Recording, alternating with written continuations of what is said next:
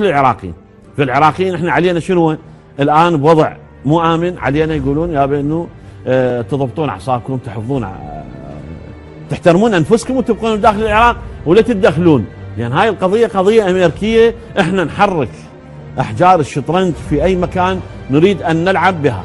الآن هذه المدن يعني إن كانت سوريا لبنان العراق أي مدينة ثانية أو أي دولة ثانية الآن تنتقل رقعه الشطرنج من بلدة إلى بلدة.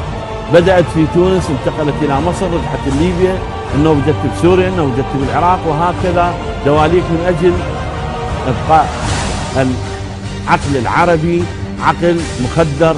ليس له وعي وليس له قيمة وليس له أي صوت يسمع آه عند الآخر. لأن الآخر أصم وأعمى وأطرش. كل شيء يفتهم منك هو عنده رأي سياسي وعنده أيدي وأرجل في داخل الحكومة العراقية أو الحكومة السورية أو الحكومة اللبنانية من أجل إكمال لعبة الشطرنج العالمية التي يخرج فيها الفائز واحد لأن اللعبة هي الآن تحدث بين كثير من الناس لكن الحقيقة الفائز الواحد هو إسرائيل.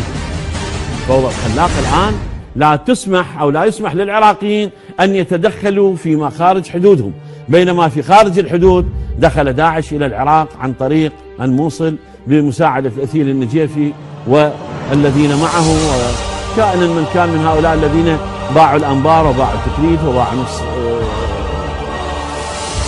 دياله الآن أنتم إذا تريدون يا جماعة الخير يا حكومتنا المبجلة الحقيقية الخلاقة حكومة الفوضى الخلاقة العراقية أنتم إذا أردتم أن تقضوا على داعش اقضوا على داعش الموجود في البرلمان العراقي.